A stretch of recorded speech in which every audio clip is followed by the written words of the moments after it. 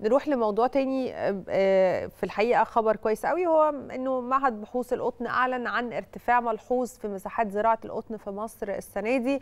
وصلت المساحة المنزرعه لنسب كبيرة جدا حتى وصلت في تاريخ 13 مايو لحوالي 131 ألف فدان على مستوى الجمهورية وده زيادة بتصل لحوالي 46% عن السنة اللي فاتت. يعني لو بنقارنها بنفس التوقيت اللي كانت 89 ألف فدان على مستوى الجمهورية. يعني بشاير الخير محصول القطن محصول مهم جدا ومحصول استراتيجي نتعرف على تفاصيل أكتر. معانا على الهاتف دكتور وليد يحيى وكيل معهد بحوث القطن للإنتاج. بنرحب بحضرتك دكتور وليد وصباح الخير. صباح الخير يا فندم صباح الخير أستاذ محمد صباح الخير أستاذ بسنت صباح الخير لكل المشاهدين المصريين. حابين نعرف من حضرتك كده في البداية يعني نسب المساحات اللي تم زراعتها من محصول القطن وأبرز المحافظات اللي بتتصدر هذه النسب.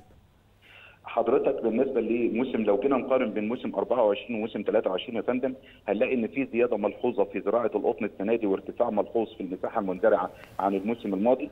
يعني لو قلنا إن إحنا في آه تاريخ آه في تاريخ 23 5 اللي هو تاريخ البارح كان المساحة المنزرعه من القطن في الوجه البحري 113000 فدان المساحة المنزرعه السنة دي لغاية دلوقتي 169000 فدان.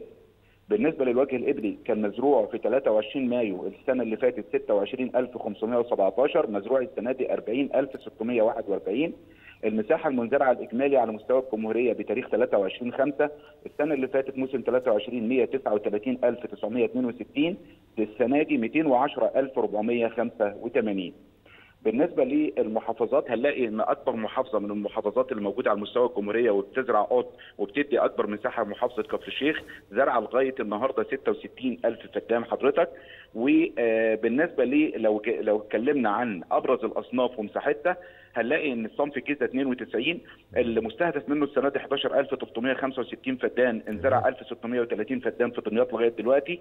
الصنف الجيزه 94 مستهدف 189000 زرع 129000 al 86 مستهدف 47000 زرع في البحيرة 15937 الصنف 96 مستهدف 15000 زرع 7520 الصنف الجيزه 97 أحدث الأصناف المصرية مستهدف 19800 زرع 15079 جيزه 95 في محافظات الصعيد مستهدف 47000 زرع 39900 إذا محافظة كفر الشيخ بتتصدر المحافظات. يلي آه في الفترة الأخيرة تم الإعلان عن استحداث سلالات جديدة من محصول القطن. إيه طبيعة هذه السلالات لو حضرتك توضح لنا؟ احدث صنف احدث صنف يا فندم موجود على الخريطة الصنفية المصرية. هو الصنف جيزه 98 في محافظات الصعيد وده صنف نزل السنة اللي فاتت في مركز دار السلام بمحافظة سوهاج. السنة دي واخد محافظة سوهاج بأكملها محافظة الوادي الجديد بأكملها بالإضافة إلى الأقصر وأسوان. والصنف ده من مميزاته إنه صنف قصير العمر مدة مكسه المحصولي في التربة 150 يوم من من أول وضع البذرة وحتى نهاية المحصول 150 يوم.